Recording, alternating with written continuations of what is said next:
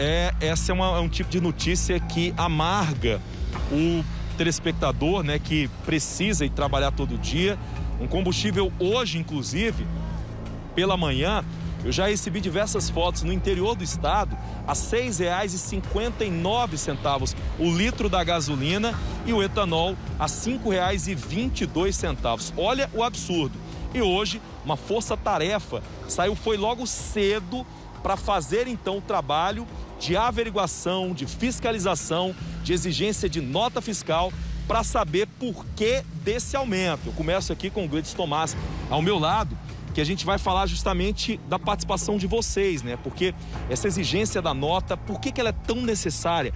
Para entender também desse aumento que aconteceu de uma hora para outra, que a gente sabe, que assustou quem precisa abastecer. Aliás, todo mundo, que todo mundo depende do combustível. Boa noite.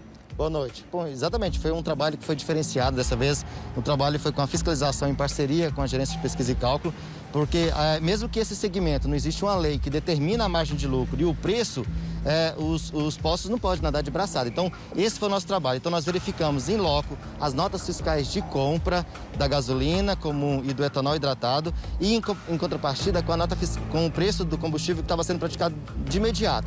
Então, olha só, dos postos que já foram analisados, a maioria, infelizmente, ou felizmente, eu não sei, estava com a margem de lucro é, é, dentro da normalidade, ou seja, abaixo de 20%. Apenas um único posto, nós encontramos uma margem de lucro de 25%. Então, nesse caso específico desse posto, ele vai ter que apresentar para nós as justificativas, porque o simples fato do percentual chegar a 25% não quer dizer que de, de cara é, constitui alguma abusividade. Então a gente precisa analisar mais detalhadamente para ver se de fato esse posto, com essa margem de lucro de 25% no preço do etanol, configura ou não prática abusiva de elevação de preço. Porque o Código de Defesa do Consumidor é bem claro, Fred.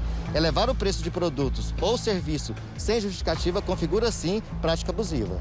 Agora, nós estamos aqui, Silvio, no Jardim Goiás, né, bem na Fué de José Seba, onde um posto, inclusive esse aqui que nós estamos em frente, ele está fechado né, logo cedo ele recebeu essa visita. E esse posto aqui, o que, que houve com ele?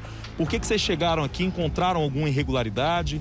Bom, na realidade, nós chegamos e ele estava fechado. A alegação da funcionária que estava no local é que uh, o estabelecimento não tinha combustível, então por isso eh, não estava em funcionamento. Inclusive as bombas estavam trancadas é, essa funcionária do estabelecimento, ela entrou em contato com o proprietário não conseguiu, as alegações que não conseguiu. Então esse posto ele foi notificado para apresentar as notas fiscais de venda de ontem, inclusive as de hoje, se houver, inclusive é, qual é a, a, quantidade de combustível que havia no tanque é, desse posto. Então esse posto vai ser notificado para apresentar e a funcionária foi conduzida até a delegacia do consumidor para prestar esclarecimentos. Então esse posto já foi notificado e nós vamos é, verificar se de fato essa, é, essa, o atrapalho que essa empresa deu para o trabalho de fiscalização, se realmente tem algum fundamento. Se é combustível que estava adulterado, uh, ou se de fato realmente é porque não tinha esse combustível à venda para o consumidor.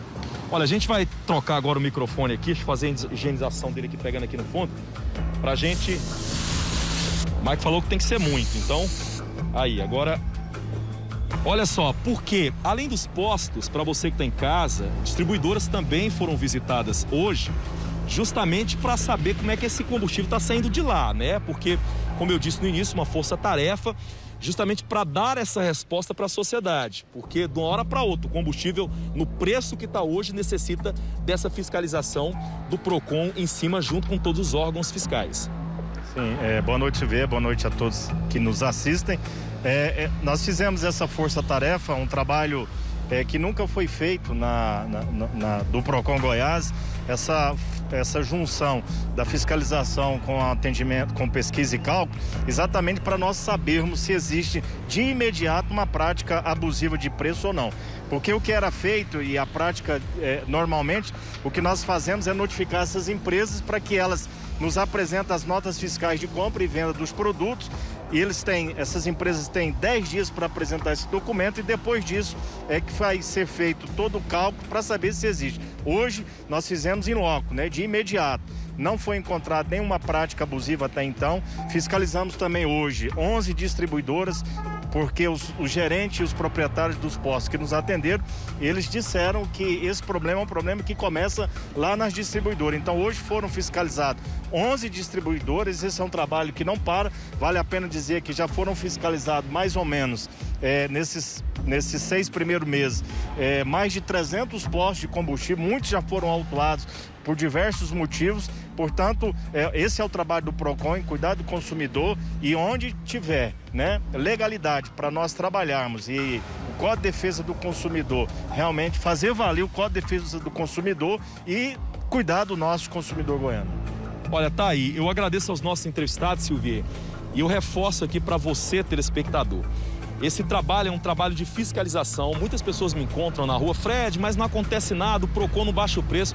O PROCON não baixa preço, o PROCON fiscaliza para encontrar irregularidades e supostos abusos nesse aumento de preço. Então, o trabalho está sendo feito, uma força-tarefa.